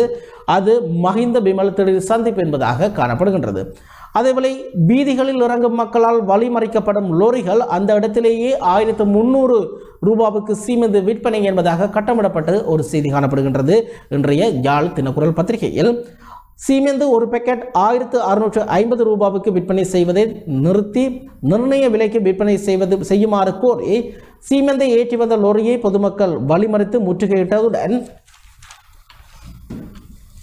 பெரும் கோஷம் எழுப்பிய சம்பவம் ஒன்று நேற்று ஞாயிற்றுக்கிழமை இறக்காமல் மக்கள் வங்கிக்கு அருகாமையில் இடம்பெற்றது. அத்தியாவசிய பொருட்களின் வெளியேற்றத்தை கண்டித்தும் பட்ஜெட் ஊடாக மக்களுக்கு நிவாரணம் வழங்குமாறு வலியுறுத்தியும் நாட்டின் பல்வேறு பகுதிகளிலும் மக்கள் வீதிகளில் இறங்கி பெரும் போராட்டங்களில் ஈடுபட்டு வருகையில் தற்போது அத்தியாவசிய பொருட்களுடன் வரும் வாகனங்களை அவர்கள் வழிமறிக்க தொடங்கியுள்ள நிலைமை மேலும் மோசமடைய நிலை ஏற்பட்டுள்ளதை காண்கு காட்டுகின்றது. இந்த நிலையில் நேற்று முற்பகல் பதினோரு மணியிலிருந்து கல்முனையிலிருந்து ரக்காமத்தில் உள்ள சீமெந்து விற்பனை நிலையங்களுக்கு சுமார் அறுநூறு சீமெந்து பேக்கெட்டுகளை ஏற்றி வந்த லோரியை வழிமறித்த பொதுமக்கள் அந்த சீமெந்து விற்பனை நிலைய நிலையங்களில் சீமெந்தை இறக்க விடாமல் பெரும் கோஷம் எழுப்பினர் இதனால் அங்கு பெரும் கலோபரம் ஏற்பட்டது. பெருந்திரளான பொதுமக்கள் ஒன்று கூடினர். இந்த குழப்ப நிலை பற்றி தகவல் அறிந்த இறக்காமம் போலீஸ் நிலைய பொறுப்பதிகாரி எம்பை ஜௌஃபர் தலைமையிலான குழுவினர். முன்னாள் பிரதேச சபை தவிசாளர் ஏ. கலிரூர் ரஹ்மானும் அங்கு வந்து சீமெந்து ஒரு பேக்கெட் ஆயிரத்தி முந்நூறு ரூபாவுக்கு விற்பனை செய்ய நடவடிக்கை எடுத்தவுடன் நிலைமையை கட்டுப்பாட்டுக்குள் கொண்டு வந்தனர். இந்த சம்பவம் இடம்பெற்ற இடத்திலேயே பொதுமக்கள் அந்த முகவரிடமிருந்து நேரடியாக சீமெந்தை கொள்வனவு செய்ததை அவதானிக்க முடிந்தது என்பதாக அந்த செய்தியில் காணப்படுகின்றது. அது வீதிகளில் இறங்கும் மக்களால் வரி வழிமறிக்கப்படும் லோரிகள் அந்த இடத்திலேயே ஆயிரத்து முந்நூறு ரூபாவுக்கு சீமெந்து விற்பனை என்பதாக அந்த செய்தியில் காணப்படுகின்றது. அதேபோல ஒட்டுமொத்த அரசையுமே கொளுத்தி வீட்டுக்கு விரட்டியடிக்க வேண்டும். மனோ கணேசன் எம்பி சீட்டம் என்பதாக காணப்படுகின்றது. நேற்று பொகவந்தலாவில் இடம்பெற்ற அந்த அஹ், ஆர்ப்பாட்டத்தில் எதிர்ப்பு ஆர்ப்பாட்டத்தில் அவ்வாறு அவர் தெரிவித்ததாக குறிப்பிடப்படுகின்றது. இது தொடர்பான செய்தியை நாங்கள் ஏற்கனவே இன்று பார்த்திருக்கின்றோம். அதே போல வெளிநாட்டு நாணய வருவாய்களை உடனடியாக ரூபாயாக மாற்ற உத்தரவு என்பதாக ஒரு செய்தி வெளிவந்திருக்கின்றது மத்திய வங்கியின் பணிப்பால் அனைவரும் பெரும் அதிர்ச்சி என்பதாக அதில் குறிப்பிடப்பட்டிருக்கின்றது. இறக்குமதியாளர்கள் ஏற்றுமதியாளர்கள் மற்றும் தொழில்சார் நிபுணர்கள் உட்பட வெளிநாடுகளில் பொருட்கள் மற்றும் சேவைகளுக்கான நிதியை பெறுவதில் ஈடுபட்டுள்ளவர்கள் அவர்களின் வெளிநாட்டு நாணய சம்பாத்தியங்களை உடனடியாக ரூபாவாக மாற்றிக்கொள்ள உடனடியாக ரூபாவாக மாற்றிக்கொள்ளுமாறு இந்த பரிவர்த்தனைகள் ஒவ்வொரு மாதமும் மேற்கொள்ளப்படுவதை வர்த்தக வங்கிகள் உறுதிப்படுத்த வேண்டும் எனவும் மத்திய வங்கி உத்தரவிட்டுள்ளது. இந்த நடவடிக்கை வர்த்தக சமூகம் தொழில்சார் நிபுணர்கள் மற்றும் வங்கி வட்டாரங்கள் மத்தியில் பெரும் அதிர்வலைகளை ஏற்படுத்தியுள்ளது. இலங்கைக்கு வெளியே வழங்கப்படும் பொருட்கள் மற்றும் சேவைகளுக்கான வெளிநாட்டு நாணய நடவடிக்கைகள் தொடர்பாக உடனடியாக உரிமம் பெற்ற வர்த்தக வங்கிகளுக்கு அறிவிக்கப்பட வேண்டும் என்று நூற்றி எண்பது நாட்களுக்குள் கட்டாயமாக உள்ளூர் ரூபாவுக்கு மாற்றப்பட வேண்டும் என்றும் தெரிவிக்கப்பட்டுள்ளது. அதேவேளை இறக்குமதி செய்யப்பட்டுள்ள உள்ளூடு உள்ளூடுகள் கடன்கள் வர்த்தக ரீதியான பயணங்கள் மற்றும் வேறு சிலவற்றுக்கு விதி விதி விலக்களிக்கப்பட்டுள்ள விதி விலக்களிக்க அனுமதிக்கப்படுகின்றது. வெளிநாடுகளில் தொழில்சார் நிபுணத்துவம் தொழில் அல்லது வர்த்தக சேவைகள் வழங்குபவர்களும் இந்த உத்தரவில் அடங்குகின்றனர். அனைத்து அல்லது பெரும்பாலான வெளிநாட்டு வருமானங்களையும் ரூபாயாக மாற்றுவதற்கு உத்தரவிடுவதன் மூலம் அந்நிய செலாவணி துறையை அதிகளவுக்கு இலங்கை கட்டுப்படுத்துகின்றமையானது. புலம்பெயர் தொழிலாளர்கள் அனுப்பும் பில்லியன் கணக்கான டாலர்களையும் பாதிக்கலாம் என்று நிபுணர்கள் தெரிவிக்கின்றனர். நிதிகளை கொண்டு வருவதிலும் பார்க்க வெளிநாடுகளிலேயே உள்நாட்டு வர்த்தகங்களும் தனியாட்களும் அதனை வைத்திருப்பது பாதிப்புகள் இல்லாமல் தமது வெளிநாட்டு நடவடிக்கைகளை மேற்கொள்வதை ஊக்குவிக்கும் என்ற விடயம் ஒன்று அவர்கள் இதனை கூறுகின்றனர். வணிக வங்கிகள் அந்நிய செலாவணியின்றி வறண்டு காணப்படுவதனால் உள்ளூர் வர்த்தகர்களை ஊக்குவிப்பதற்கான சிறந்ததொரு உதாரணம் இது என்றும் அவர்கள் கூறுகின்றனர் என்பதாக அந்த செய்தியானது தொடர்ந்து செல்கின்றது. அது வெளிநாட்டு நாணய வருவாய்களை உடனடியாக ரூபாயாக மாற்ற உத்தரவு மத்திய வங்கியின் பணி பணிப்பால் அனைவரும் பெரும் அதிர்ச்சி என்பதாக அந்த செய்தியில் காணப்படுகின்றது. அது அவை இன்றைய தினக்குரல் பத்திரிகையினுடைய முதல் பக்க முக்கிய செய்திகளாக காணப்படுகின்றது. அதேபோல முதல் பக்கத்தில் மேலும் பதினைந்து பேர் உயிரிழப்பு நான்கு நாட்களில் ஐநூறு டெங்கு நோயாளர்கள் என்பதான செய்தியும் இன்றைய யாழ் தினக்குழல் பத்திரிகை காணப்படுகின்றது. பதினைந்து பேர் உயிரிழப்பு என்பது கொரோனாவுடன் தொடரப்பட்ட செய்தி. அதே போல நான்கு நாட்களில் ஐநூறு டெங்கு நோயாளர்கள் என்பதாக காணப்படுகிறது. நாட்டில் ஜனவரி மாதம் முதல் நவம்பர் நான்காம் தேதி வரையான காலப்பகுதியில் இருபத்தி ரெண்டாயிரத்து தொள்ளாயிரத்தி ரெண்டு டெங்கு காய்ச்சல் என சந்தேகிக்கப்படும் நோயாளர்கள் பதிவாகியுள்ளதாகவும் காணப்படுகின்றது என்பதாக அந்த செய்தியில் காணப்படுகின்றது. அதே போல இரண்டாம் கட்டத்தின் கீழ் இன்று பாடசாலைகள் திறப்பு என்பதான ஒரு செய்தியும் வெளிவந்திருக்கின்றது. சிறுவர்களுக்கு தரமான கல்வியை வழங்குவதில் அரசாங்கம் அர்ப்பணிப்புடன் செயல்படுவதாகவும் அனைத்து வகுப்புகளும் கற்றல் நடவடிக்கையினை ஆரம்பிப்பதற்கு தேவையான நடவடிக்கைகள் விரைவில் மேற்கொள்ளப்படும் எனவும் கல்வி அமைச்சர் தினேஷ் குணவர்த்தன தெரிவித்தார் என்பதாக அந்த செய்தியில் காணப்படுகின்றது. இவை இன்றைய யாழ் தினக்குரல் பத்திரிகையின் முதல் பக்க முக்கிய செய்திகளாக இருக்கின்றன. அதேபோல நாங்கள் தினக்குழு தினக்குரல் பத்திரிகையுடைய உட்பக்கத்தில் தடுப்பூசிகளின் பாதுகாப்பு குறைந்து வருகின்றது. டிசம்பர் மாதம் ஆபத்தாக மாறலாம் என்பதாக ஒரு செய்தி வெளிவந்திருக்கின்றது. கோவிட் தடுப்பூசிகள் தொடர்பில் அமெரிக்காவில் மேற்கொள்ளப்பட்ட ஆய்வுகளில் அவற்றின் சேத்திறன் குறைந்துள்ளமை உறுதிப்படுத்தப்பட்டுள்ளமையினால் பொதுமக்கள் மிகவும் அவதானமாக செயற்பட வேண்டும் என எதிர்வரும் டிசம்பர் மாதம் ஆபத்தாக அமைவதை விரும்பவில்லை எனவும் ராஜாங்க அமைச்சர் பேராசிரியர் சென்ன ஜெ- ஜெயசுமன தெரிவித்திருக்கின்றார். அமெரிக்க ஆய்வினை மேற் மேற்கோள் காட்டி சயின்ஸ் இதழில் வெளியிட்டுள்ள தகவலை அடிப்படையாக கொண்டு கருத்து தெரிவித்துள்ள ராஜாங்க அமைச்சர் மார்ச் மாதத்தின் ஆரம்பத்தில் எண்பத்தி ஆறு தசம் ஒன்பது வீதமாக இருந்த பைசர் தடுப்பூசியின் செயற்திறன் ஆறு மாதங்களுக்கு பின்னர் நாற்பத்தி மூன்று நாற்பத்தி மூன்று வீதமாக குறைவடைந்துள்ளதாக தெரிவித்துள்ளார். அதேபோல அஹ், மொடர்னா தடுப்பூசியின் செயல்திறன் எண்பத்தை எண்பத்தொன்பது வீதத்தில் வீதத்திலிருந்து ஐம்பத்தெட்டு வீதமாக குறைவடைந்துள்ளதாகவும் ஜோன்சன் அண்ட் ஜோன்சன் தடுப்பூசி எண்பத்தாறு தசம் நான்கு வீதத்திலிருந்து பதிமூன்று வீதமாக குறைவடைந்துள்ளதாகவும் வைரஸ் தொற்றுக்கு எதிரான த மூன்று தடுப்பூசிகளின் செயல்திறன் எண்பத்தொன்பது வீதத்திலிருந்து பதிமூன்று வீதமாக குறைந்துள்ள குறைவடைந்துள்ளதாகவும் அவர் தெரிவித்தார் என்பதாக அந்த செய்தி தொடர்ந்து செல்கின்றது. அது தடுப்பூசிகளின் பாதுகாப்பு குறைந்து வருகின்றது. டிசம்பர் மாதம் ஆபத்தாக மாறலாம் என்பதாக அந்த செய்தியில் குறிப்பிடப்பட்டிருக்கின்றது. அதே போல தேநீர் அருந்தி கொண்டிருந்த போது பாத்திமா தடியால் தாக்கி கொலை செய்யப்பட்டார். பயணப்பை சடலம் தொடர்பில் சகோதரனும் சகோதரியும் கைது என்பதாக ஒரு செய்தி வெளிவந்திருக்கின்றது. சபுகஸ்கந்த மா மாபிம பகுதியில் உள்ள குப்பை மேட்டில் பயண பொதியொன்றில் சடலமாக மீட்கப்பட்ட பெண் கொலை செய்யப்பட்டமைக்கான காரணம் வெளியாகியுள்ளது. கொழும்பு மாளிகாவத்தை வீட்டு தொகுதியைச் சேர்ந்த முகமது சாசி பாத்திமா மும்தாஜ் என்ற இந்த பெண் கொலை செய்யப்பட்டு சடலம் பயணப்பையில் வைத்து குப்பை மட்டில் வைத்து செல்லப்பட்டுள்ளது. இது தொடர்பாக போலீசார் விசாரணையில் உயிரிழந்த பெண் இறுதியாக ருசானா என்ற பெண் மற்றும் அவரது சகோதரனுடன் முச்சக்கர வண்டியில் பயணித்துள்ளார். இந்த இருவரும் கைது செய்யப்பட்டுள்ளனர். கைது செய்யப்பட்டவர்களும் மேற்கொள்ளப்பட்ட விசாரணைகளில் அனைத்து தகவல்களும் வெளியாகியுள்ளது. கைது செய்யப்பட்ட ருசானா என்ற பெண்ணும் சூதாட்டத்துக்கு மிகவும் அடிமையாகிய ஒருவர் என தெரிய வந்துள்ளது ருசானா கொழும்பு சூதா சூதாட்ட நிலையத்தில் வைத்து தன்னிடம் இருந்த அனைத்தையும் சூதாட்டத்தில் இழந்துள்ளார். இறுதியாக திருமண மோதிரத்தையும் அவர் இழந்துள்ளார். அவ்வாறு இழந்த மோதிரம் அடகு வைக்கப்பட்ட நிலையில் அதனை மீட்க ஒரு சில நாட்களே உள்ள நிலையில் அதனை மீட்டு தருமாறு ரொசானா கொலை செய்யப்பட்ட பாத்திமாவிடம் வினவியுள்ளார். பாத்திமாவும் தீவிரமாக சூதாட்டத்துக்கு அடிமையாகியவராகும். சூதாட்டத்தில் தோற்று தங்க நகைகளை இழ இழப்பவர்களின் பொருட்களை அடகில் மீட்டு வியாபாரம் நடத்தும் நடவடிக்கை ஒன்றை பாத்திமா மேற்கொண்டு வந்துள்ளார். ரொசானாவின் கோரிக்கைக்கு அமைய பாத்திமா கடந்த இருபத்தெட்டாம் தேதி அவரது வீட்டுக்கு சென்று ரொசானாவின் மோதிரத்தை அடகிலிருந்து மீட்டு சிறிய பணத்தை அவருக்கு வழங்கிவிட்டு மோதிரத்தை தன்னிடம் வைத்துக் கொள்வதற்கே பாத்திமா திட்டமிட்டுள்ளார். அடகில் இருந்த பொருளை மீட்பதற்காக ரொசானா மற்றும் பாத்திமா ரொசானாவின் சகோதரனுக்கு சொந்தமான முச்சக்கர வண்டியில் பயணித்துள்ளார். அதற்கமைய அடகிலிருந்து மோதிரத்தை மீட்ட பின்னர் ரொசானா தேநீர் அருந்த வீட்டுக்கு வருமாறு பாத்திமாவை அழைத்துள்ளார். அழைப்பில் ஏற் அழைப்பை ஏற்று பாத்திமா மட்டக்குழியில் உள்ள ரொசானாவின் வீட்டுக்கு சென்று தேநீர் அருந்திக் கொண்டிருந்த போது ரொசானாவின் சகோதரர் பின்னால் வந்து பாத்திமாவுக்கு தடியால் தாக்கி கொலை செய்துள்ளார் என்பதாக அந்த செய்தியானது தொடர்ந்து செல்கின்றது. அது இரண்டு மூன்று தினங்கள் தினங்களாக கொழும்பில் பேசப்பட்டு கொண்டிருக்கும் ஒரு கொலை தொடர்பிலான செய்தியாக காணப்படுகின்றது. அந்த கொலைக்கான காரணங்கள் கண்டறியப்பட்டுள்ளதாக போலீஸ் தரப்பு குறிப்பிட்டுள்ளது. எனவே அந்த செய்தி அவ்விதம் காணப்படுகின்றது. இத்துடன் இன்றைய நாளேடுகளில் ஒரு பார்வை மன்னிக்கவும். இத்துடன் இன்றைய பத்திரிகைகள் மீதான பார்வை நிறைவுக்கு வருகின்றது. இன்றும் ஒளிபரப்பில் தொழில்நுட்பத்தில் உதவிய யூனிஸ்டனுடன் விடைபெறும் நான் கனகநாயகம் வரவுதயன் இன்றும் வழமை போலவே அனுசரணை வழங்கியிருந்தார்கள். நெஸ்டமோட். எனவே மற்றொரு நிகழ்ச்சி வாயிலாக சந்திக்கலாம். அதுவரையில் விடைபெறுகின்றேன். வணக்கம்.